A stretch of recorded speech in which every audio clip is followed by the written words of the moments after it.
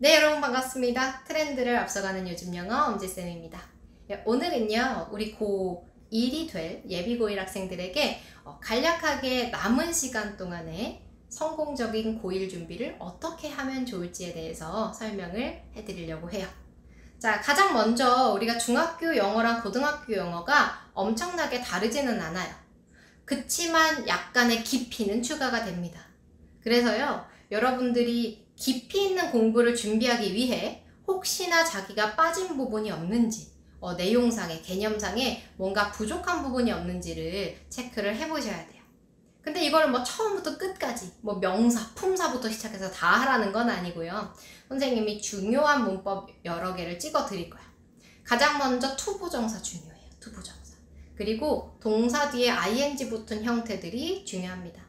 이거를 명사로 쓰이면 동명사, 형용사로 쓰이면 현재 분사, 그리고 우리 분사 구문이라는 것도 배웠을 텐데요. 요것들을 잘 정리해서 오셔야 돼요. 각각의 차이는 뭐고, 각각의 특성은 무엇인지. 그리고 조금 다른 세계로 가서요. 우리 접속사, 관계대명사, 관계부사.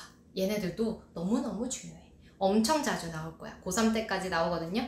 그래서 우리 친구들이 이거를 이제 어떻게 정리를 해야 되냐면, 중학교 때는 이런 식으로 공부를 하게 된다? 조금, 뭐랄까, 따로, 따로의 세계처럼 공부를 해. 관계 대명사는 관계 대명사끼리 비교를 하고, 어, 앞에 사람이야? 그럼 호 써야지. 사물이면 위치 써야지. 이렇게 공부를 하게 될 텐데요. 고등학교 때는 이 각각의 영화가 하나의 세계관으로 뭉치는 마치 어벤져스 같은 그런 어, 효과를 봐요. 그래서 고등학교 때는 세계관이 엄청나게 확장돼서 이제 너도 나오고 너도 나오는 거야. 그래서 여기에 관계 대명사끼리 비교를 하는 게 아니라 너 여기다가 위치 쓸 거니 where 쓸 거니 관계 대명사 쓸 거니 관계 부사 쓸 거니 그것도 아니면 접속사 쓸래 이렇게 물어본단 말이야. 그래서 각각의 것들을 정확하게 알고 있지 않으면 비교가 힘들어. 고등학교 때는 그 비교하는 작업에 초점을 맞춰서 수업을 해요. 그래서 중학교 때 각각의 것들의 속성을 잘 공부해 오셔야 됩니다.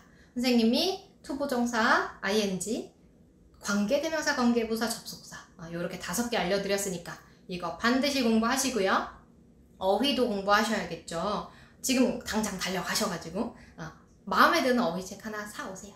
그래서 그 어휘책을 우리가 고등학교 입학하기 직전까지 시간이 좀 많습니다. 세 번 반복해서 오기. 할 수 있겠어? 세 번 반복해서 오는 거. 이거 두 가지만 해서 오면은 선생님이 진짜 약속하는데, 어, 뭐 내신 대비 이런 거 하나도 걱정할 게 없을 거야. 정말로.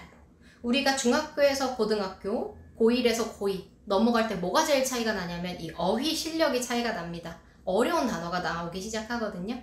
그래서 여러분들이 이 어휘만 정리 잘 해놓으시면 걱정 없을 거니까 이렇게 두 가지를 준비를 해서 오시면 되겠습니다. 어, 조금 더 자세하게 중학교랑 고등학교 영어의 차이, 뭐 시험 범위의 차이 이런 것들은 선생님이 차차 어, 다른 영상에서 또 전달을 해드리도록 할게요. 오늘 일단은 이렇게 만나서 너무너무 반갑고요. 이렇게 메가스터디 들어오셔서 이렇게 일찍 일찍 준비를 하는 여러분들 너무너무 훌륭하다고 칭찬해주고 싶어요. 우리 다음 영상에서 조금 더 어, 유익, 유익한 정보로 어, 만나보도록 하겠습니다. 안녕!